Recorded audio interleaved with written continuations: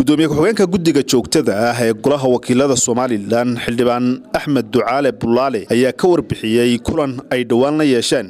Guddiga komishanka doorashooyinka oo uu sheegay in madmadow badan hadheeyey dhinaca xisaabaadka iyo maamulka guddigaasi waxaana uu yidhi geesta kalena waxa uu xildhibaan ducaale ka hadlay ciidanka jamhuuriyadda somalilan ee jiidda hore ku sugan oo uu ku hambeliyey sida ay nabadgelyada u sugeen. Horta dee awlaanu kala kulmayna guddiga joogtadii waxa weeye marka goluhu xidhaya iyagaa sii matala asambaliga guuda golaha marka guddiga qudha shaqeeya xilliga fasaxa weeye.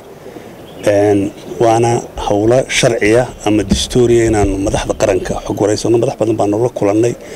Qoladii ugu dambeysay ayaanu la kulannay. Runtii waxay ahaayeen qolyihii ugu horreeyay aan la kulanay waxay ahaayeen qolooyinka arrimahaas xirbaralkaan ka waraysanay wasiirka maaliyadda. Maxaan idhahdaaye ninka la yidhaahdo gudoomiya madaxda baanka qoladii ugu dambeysaan la kulannay waxay ahayd guddiga joogtada ah guddiga joogtada guddigan la yidhaahdo guddiga doorashooyinka guddiga doorashooyinka. Guddiga doorashooyinka waxaanu kala hadalnay inta badan waa kuwan doorashooyinkii doonaya inay qabtaan baarlamaanka iyo golaha deegaanka.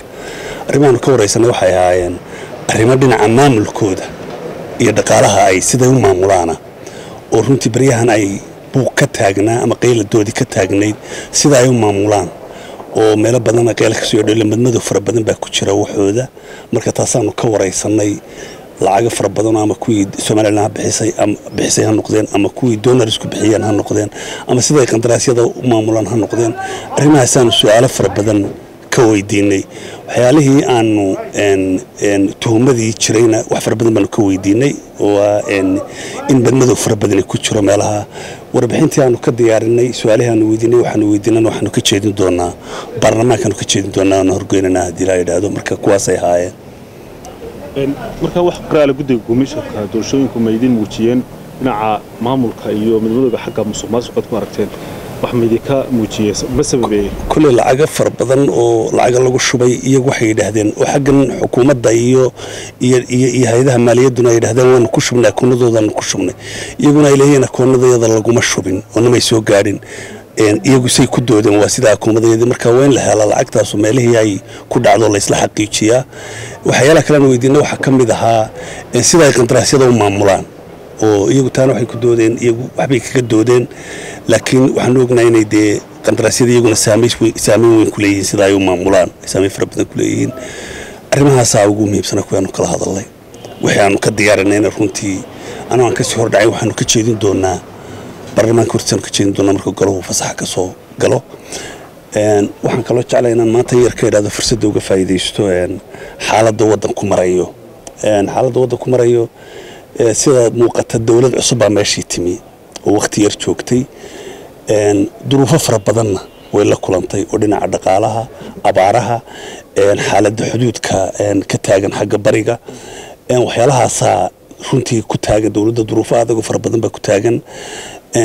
Howlo waaweyn baa kulley sidaan xogta ku hayo socda oo ay la doonayeen duruufaha dhaqaale lagaga dabaasho.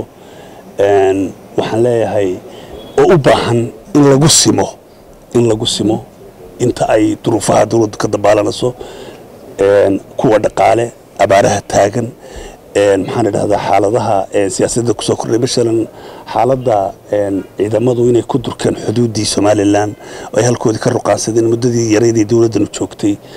Dunidana barashar iyo qaylooyin kaga yimaadeen. Waxa weeyaan waa waajib xukuumadda saaran inuu ciidanku halkaa uu gaadhay inuu ka sii durkamayo aanu ka soo noqon madaxweynahana dee talada waa lala leeyahay oo ama ha noqoto hay'adaha dowladda baarlamaanka ha noqoto ciddii doontan iyo dadka kaleba iyo cid walba ha noqotee wax qura laysloo golaya waxa weeyaan inuu ciidanku halkaa uu gaadhay jooga maadaamaanu xuduud waddan kale ku xadgudbin. Waxaa had iyo jeer soo baxda in hay'adahan caalamiga qaarkood sida qaramada midoobey waxaa la mid yahay ay la sheegayna barashar ku saaran xukuumadda inay dib uga soo noqdaan. Taasu waxa weeyaan mar haddaan aanay dowladdu ku xadgudbin xuduud kale ciidanku halkaa uu gaadhay waa inuu joogo.